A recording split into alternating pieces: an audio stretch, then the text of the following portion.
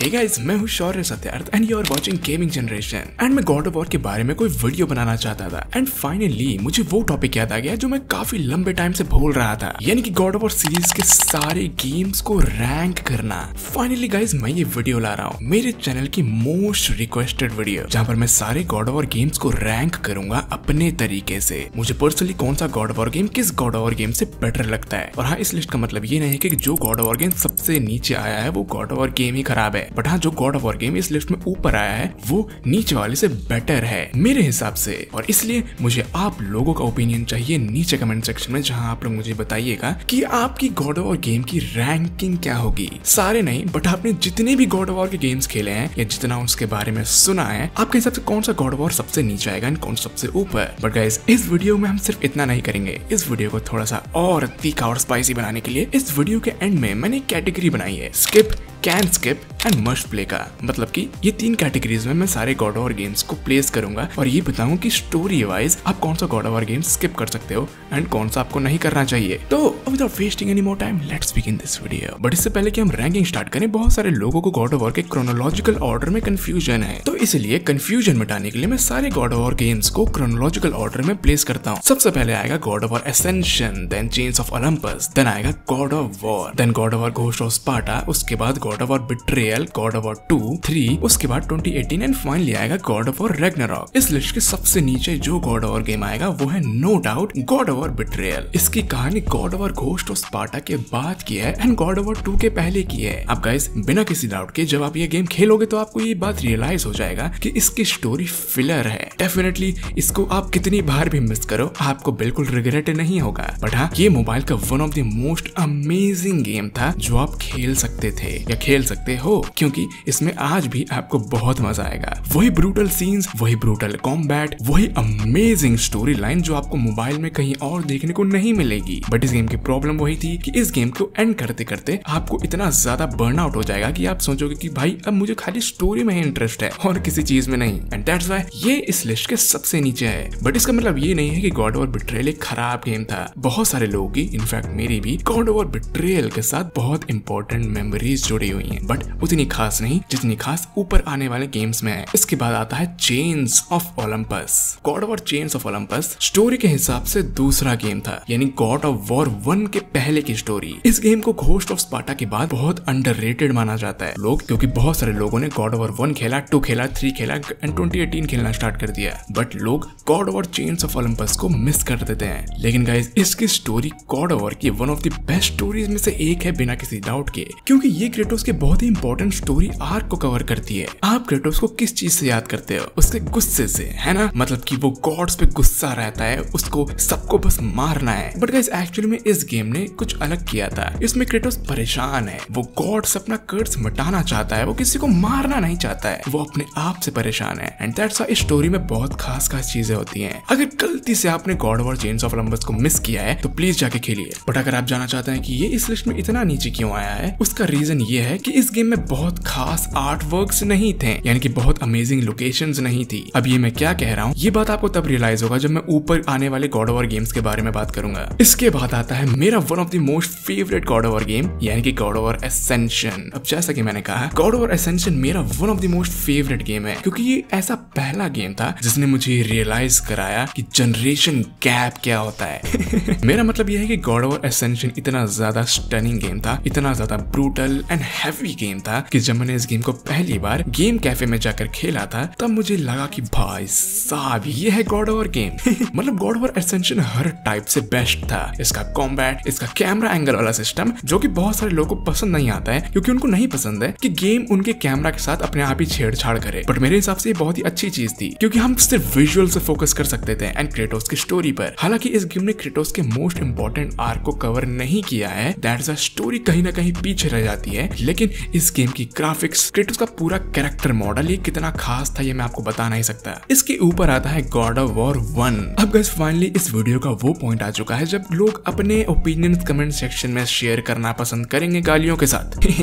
But gas मैं आपको बता दूँ कि ये मेरा पर्सनल ओपिनियन है। एंड गैस मैं कभी ये नहीं कह रहा हूँ कि गॉड ऑफ़ वन खराब है। गॉड ऑफ़ वन बहुत अच्छा है। एसेंशन से तो काफ़ी अच्छा है। लेकिन ऑफ़ कोर्स इस लिस्ट में आने वाले गेम्स में ये थोड़ा नीचे है। क्योंकि इसमें बहुत सारे मेमोरेबल मोमेंट्स नहीं है। मेरा मतलब ये है कि इस गेम ने अपने आप को एक बहुत ही अच्छे टाइप से स्टार्ट एंड एंड किया था। लेकिन अगेन इस गेम का आर्ट वर्क उस लेवल का नहीं है जो आने वाले गेम्स में है। एक्चुअल में इस गेम को और ऊपर आना चाहिए था, क्योंकि गॉड ओवर की स्टार्टिंग तो इसी से तो हुई थी। लेकिन ऑफ़ कोर्स क्योंकि ये गॉड ओवर का पहला गेम है, लोग इस गेम को बहुत ज़्यादा ओवर हाइप भी करते हैं। ऑफ़ कोर्स इस गेम में बहुत मेमोरेबल जगहें थी, जैसे पेंडियोरा टेंपल या फिर वो डेजर्ट जो कोई नहीं भूल सकता, जहाँ पर आपको तीन गाना गाने वाली लड़कियों को ढूंढना था। वाओ बहुत अनोइंग था। But guys God over one के बाद इस लिस्ट में आता है God over Ghost of Sparta इस लिस्ट का मोस्ट अंडररेटेड गेम अब guys Ghost of Sparta basically ऐसा पहला गेम था जिसने गॉड ऑफ़ वॉर के आर्ट वर्क को नेक्स्ट लेवल पे ले गया। अब यहाँ पर आप रियलाइज़ करोगे कि आर्ट वर्क होता क्या है। God of War Ghost of Sparta में ऐसी ऐसी लोकेशन थी ऐसे ऐसे लुक्स थे जो ऐसा लगता था इस गेम के है ही नहीं। फॉर एग्ज़ाम्पल एल्डियन रिंग 2022 का बेस्ट गेम वो चीज़ लाइव एग्ज़ाम्पल है की अगर आप एल्डियन रिंग के किसी भी लोकेशन पे जाओ, आप स्क्रीनशॉट लेकर उसको अपने वॉलपेपर में लगा सकते हो। गॉड और घोष ऑफ़ स्पाटा उन्हीं गेम्स में से एक था। उनका इस गॉड और घोष ऑफ़ स्पाटा एक्चुअली में बहुत स्पेशल है, क्योंकि ये उन गॉड और गेम्स में से एक था जो एक्चुअली में 18 प्लस है। जरा आप मेरी बात को समझने की कोशिश कीजिएगा। गॉड और रॉक ऑफ़ कोर्स उसमें भी काफ़ी ब्रुटैलिटी है but God over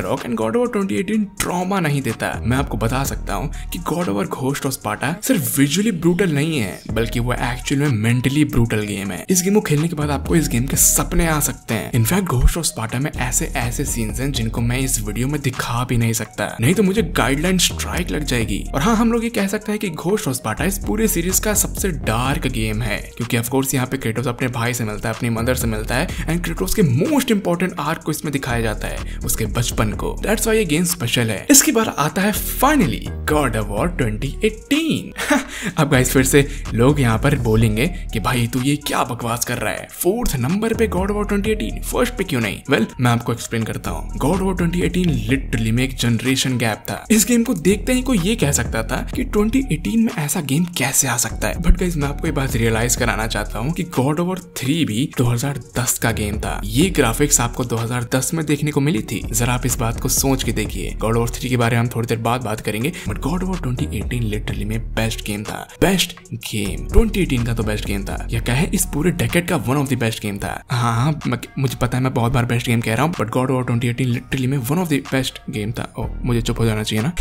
अब कैसे मुझे रीजंस देने की ज़रूरत नहीं है कि गॉड वॉर 2018 इतना खास क्यों था। इस गेम में वो हर चीज़ था जो एक गेमर को चाहिए। अच्छा कॉम्बैट अच्छी स्टोरी अच्छा कैरेक्टर अच्छे साइड कैरेक्टर्स अच्छे विलन अच्छा म्यूज़िक एंड पता नहीं क्या क्या। गॉड ऑफ़ ट्वेंटी एटीन के बारे में मैं जितना बात करूँगा उतना कम पड़ेगा guys and God of twenty eighteen के बाद आता है एक perfect sequel God War Ragnarok पता है शायद आपने ये बात रियलाइज़ की होगी कि अगर कोई गेम या मूवी या सीरीज़ फ़ेमस हो जाती है तो लोग उसके अगले पार्ट से ज़्यादा एक्सपेक्टेशन रखते हैं। एंड भले ही उसका अगला पार्ट बिल्कुल भी डिसअपॉइंटिंग नहीं रहता, लेकिन लोगों की ज़्यादा एक्सपेक्टेशन की वजह से वो सीक्वल बेकार लगने लगता है। और लोग बोलते हैं कि यार, हमें तो और चाहिए था। लेकिन गॉड ऑफ़ रैग्नारॉक इस चीज़ का जीता और जागता एग्ज़ाम्पल है, जो इस चीज़ को डिनाई करती है। मतलब गॉड ऑफ़ रैग्नारॉक से लोगों ने कितने साल तक कितनी ज़्यादा उम्मीदें लगा ली थी। कितनी सारी थ्योरीज कितने सारे एजम्पन्स एंड गॉड और रैग्नारॉक उन सारे सपनों पे खड़ा उतरा। लोगों को एक परफेक्ट सीक्वल दिया गया, एक perfect story perfect character development perfect arc Kratos की परफेक्ट एंडिंग हर चीज़ इस गेम में परफेक्ट था। बट गाइस इस गेम का कॉम्बैट अच्छा था म्यूज़िक अच्छा था कैरेक्टर्स अच्छे थे स्टोरी अच्छी थी ग्राफिक्स नेक्स्ट लेवल थी। अब इस गेम में इतने सारे चीज़ अच्छे थे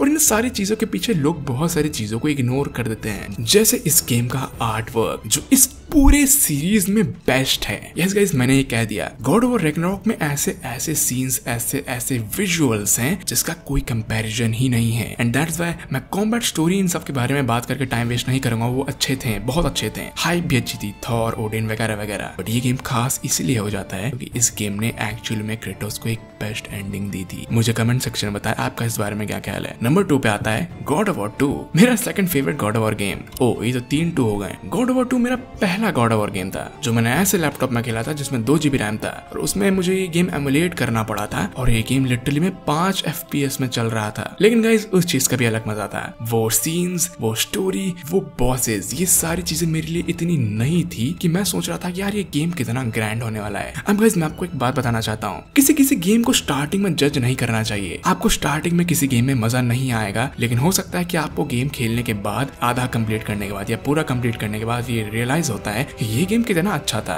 बट गाइस फिर से गॉड वॉर टू इस चीज़ का जीता और जागता एग्ज़ाम्पल है जो इस चीज़ को डिनाई करती है। क्योंकि गॉड वॉर टू एक ऐसा गेम था जिसकी लोडिंग स्क्रीन से ही आपको पता चल सकता है कि ये गेम कितना ज़्यादा बैड एस होने वाला है। और ये गेम आपको बिल्कुल डिसअपॉइंट नहीं करेगी। गॉड वॉर टू उन गेम्स में से एक था। अब गाइस याद है, मैंने थोड़ी देर पहले ही आपको ये कहा था कि गॉड वॉर रैग्नारॉक एक परफेक्ट सीक्वल है गॉड वॉर 2018 का। मैंने आपसे झूठ कहा था। गॉड वॉर 3 परफेक्ट सीक्वल है गॉड वॉर 2 का, जो कि इस लिस्ट का नंबर वन गेम है। पता है गॉड वॉर 3 एक ऐसा गेम था जो 2010 में आया था और 2010 में आपको ऐसी ग्राफिक्स मिली थी जिसको देख के आप ये बता सकते थे कि ये गेम आज से कितना ज़्यादा आगे का गेम है। इस गेम को खेलते ही ये बात पता चल गया था कि गॉड वॉर का फ्यूचर कितना ज़्यादा ब्राइट है। ये गेम एक नेक्स्ट लेवल का गेम था, ना कि सिर्फ़ ग्राफिक्स में साउंड ट्रैक्स में कैरेक्टर्स में बॉसेस में एंड मैं क्या बताऊँ। इस गेम में आपको सबसे ज़्यादा बेहतरीन कॉम्बैट सबसे ज़्यादा बेहतरीन बॉसेस देखने को मिले थे। पोसाइडन हर्मीज जियूस एंड पता नहीं क्या क्या। आपने बाकी सारे गेम्स में डेमी गॉड्स को मारा होगा। इस गेम में आपने प्योर गॉड्स को मारा। वो भी एक नहीं, बल्कि मल्टीपल गॉड्स को। इस गेम के इंट्रो सीन में ही आपको क्रिटोस का एंगर फील हो सकता था। अगर आपने आज तक गॉड ऑफ़ वॉर थ्री नहीं खेला है तो इस गेम को सिर्फ़ पाँच मिनट दीजिए। सिर्फ़ पाँच मिनट और ये आपका पूरा एक्सपीरियंस चेंज कर देगा। दैट्स वाई ये नंबर वन पे है। और मुझे इस बारे में नीचे कमेंट सेक्शन में आप सबसे जानना है कि आप सब क्या सोचते हो आप एंड आपकी रैंकिंग क्या है। प्लीज़ मुझे नीचे कमेंट सेक्शन बताइएगा। बिना गालियों के साथ। प्लीज़ बट गाइस जैसे कि मैंने प्रॉमिस किया था, मैं अब सारे गॉड वॉर गेम्स को तीन कैटेगरीज में रैंक करूँगा। स्टोरी वाइज कि आपको क्या स्किप कर देना चाहिए एंड क्या आपको खेलना ही पड़ेगा।